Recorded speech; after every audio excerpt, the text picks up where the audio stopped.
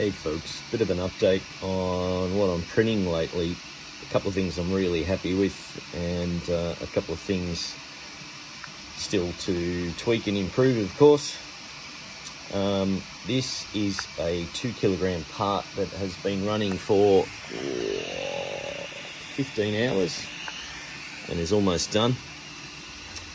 Um, so from a throughput point of view, I'm extremely happy. This is a 1.4 millimeter nozzle and I'm running PETG, which is notoriously tacky and stringy.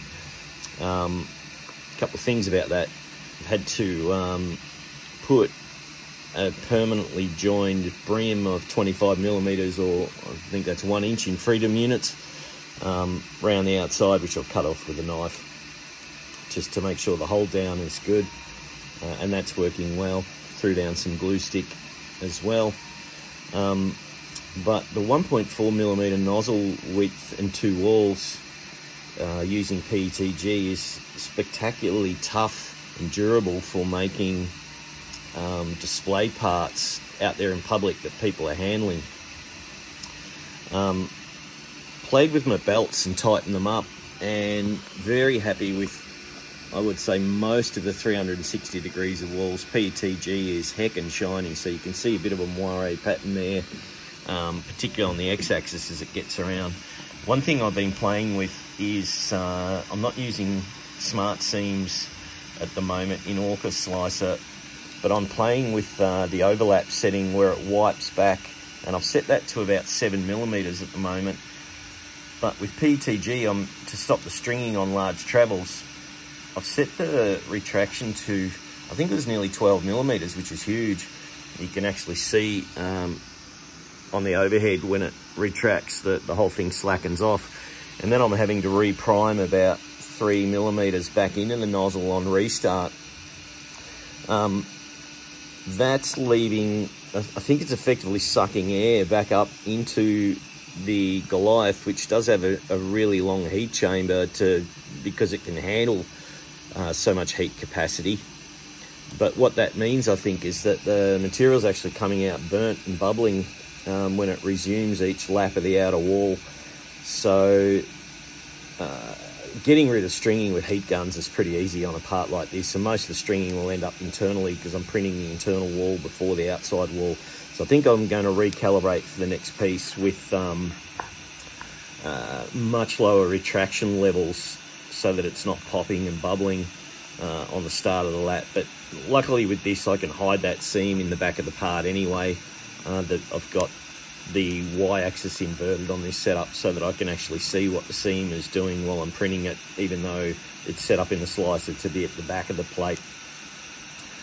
Um, and I've got some janky cardboard laid down, but I think that's helping with energy consumption. There's nothing worse than a one kilowatt heating bed and not much of it is covered. I think down the track I might actually look at some uh, maybe some of the silver insulation that you put on the inside of your car windscreen cut into sections and that can be laid as tiles around the outside. Obviously the cardboard doesn't look great, although cardboard still has a, you know, a, an ignition temperature when it's not stacked under uh, meters and meters of the stuff of about 230 Celsius, I think, from memory. So I'm not treating it as a safety risk, but you know, it's it's not very pretty and it's not so effective, but it's certainly better than nothing. We've just hit um, the start of autumn here in Australia and uh, it's getting down to about seven degrees Celsius overnight. So something's better than nothing for sure. The outer speed doesn't look very fast. I think that's running at 70 millimeters a second, but the volumetric capacity still pretty insane. I'm running at 65 cubic millimeters a second. Uh, so the fact that I can punch out a two kilogram part uh, effectively, what are we, 15 hours into it and very little to go, possibly another two hours is um, really exciting for me as a production machine.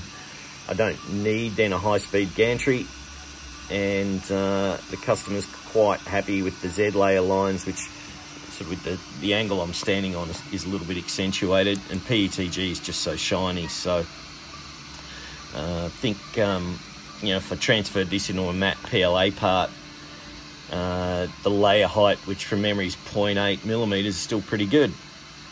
Well, I've got a bit of variable layer height coming up on this top rounded lip. Um, anyway, sorry for the long and lengthy rant, but I thought people might be interested in uh, in where I'm up to. Oh, perhaps the other thing to add is that I have really uh, tightened up the uh, y-axis belts just because I'm not running particularly fast and uh, the closed loop stepper motors are handling, handling that fine. They're still barely getting warm. I've had a couple of events where I pushed the acceleration for travel moves way too high and the closed loop stepper motors um, just lose where they're up to and they start uh, fighting each other and shooting off. Um, so I've turned the travel speed and acceleration down. I think travel's still at 70 and uh, the acceleration is a similar number. So it's taking about one second to get up to 70. Um, that has really helped and I haven't had any lost prints. The other place I'm finding that handy is um, this infill that I'm printing at the moment being a, a lightning infill. Um, because I'm priming the nozzle back and it's oozing a little bit and the acceleration's low, it's actually really helping with kind of blobbing um, the material underneath there. Um, you can probably see the over extrusion on, on this lip. There's another part that sits in on that lip, so I only put one top wall on that, and it's quite over extruded quite deliberately and chunky for strength. But um, overall, as a structural um, approach, kind of over extruding that lightning infill is working really well for me. We'll see how it ends up in a minute anyway. All right, that's about enough.